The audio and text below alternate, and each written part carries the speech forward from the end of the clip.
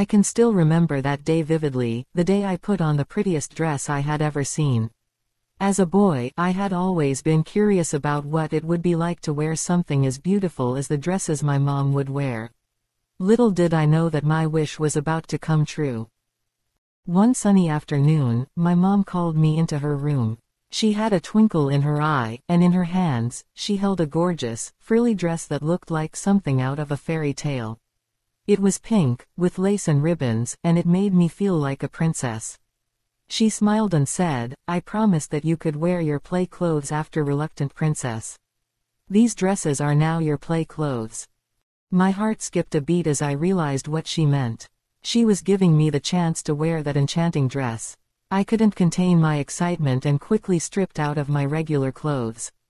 With her help, I slipped into the dress, and it fit me perfectly.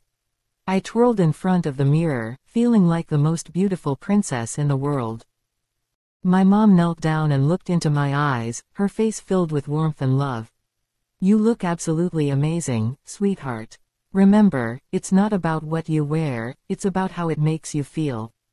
Don't ever be afraid to be yourself. Tears welled up in my eyes as I hugged her tightly, knowing that she understood me and supported my choice to wear the dress.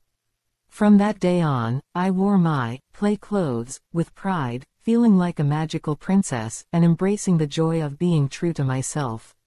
My mom's words of love and acceptance have stayed with me throughout my life, reminding me to always be who I am, without fear or hesitation.